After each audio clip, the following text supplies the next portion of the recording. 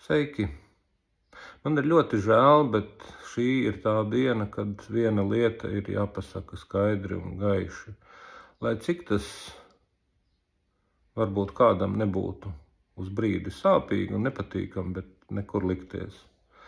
Es šorīt atveru Twitteri un redzu, ka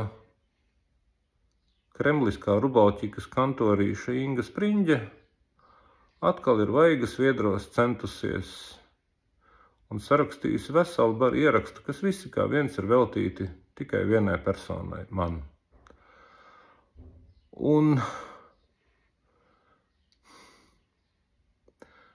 man tas jāsaka tagad un tūlīt.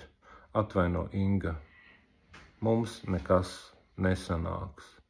Es ļoti novērtēju tavus centienus, vis visādos veidos pievērst sev uzmanību.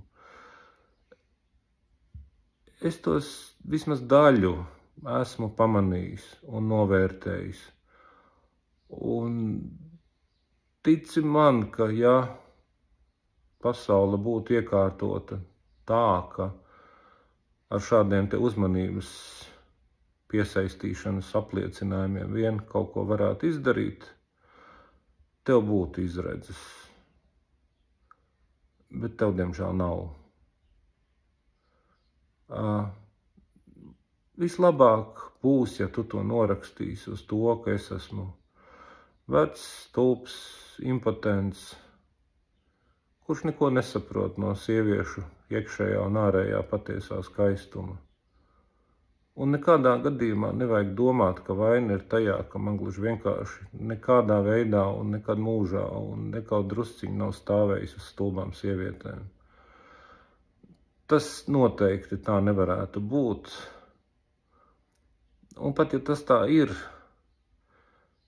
aizmirsti to. Tev vēl visa dzīve ir priekšā. Tu noteikti atradīsi vēl veselu baru tieši tādu pašu kā tu un viss jums būs labi. Bet nemoci sevi. Mums tiešām nekas nevar sanākt. Atvaino, piedod, ja vari.